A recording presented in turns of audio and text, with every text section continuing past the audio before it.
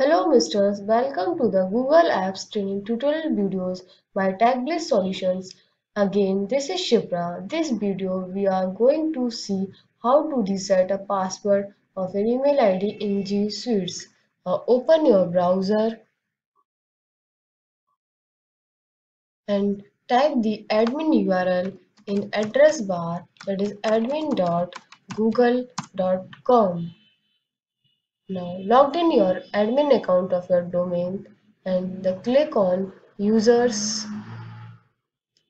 and the click on the users that you want reset the password.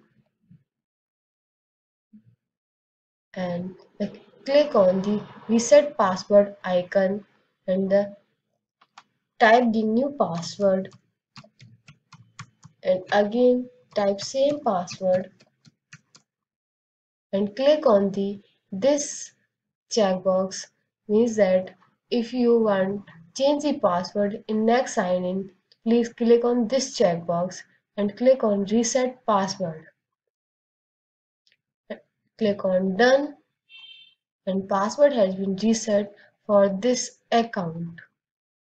Thank you.